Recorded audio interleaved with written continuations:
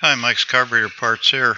We're working on a Autolite 4300 four barrel uh, choke and we're going to install a choke so you can see basically how that's done. So you see that little lever in there with the uh, split in it. That's what you put the uh, end of the choke coil into. Okay, and it turns counterclockwise in this case. And what you want to do is open the throttle and twist the thermostat so that the choke just closes and then another eighth of an inch and that should do it. You want to be able to use a little bit of pressure to open the choke valve. And uh, so there we're going to put the screws in it.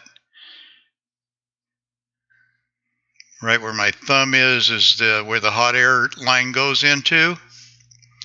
Heats up the choke. There's a vacuum uh, port inside the housing where it helps pull in the hot air. We do have electric choke conversions for these also if you if you want to uh, get rid of your hot air tube and all that. Sometimes they're uh, pretty hard to find. So there you go.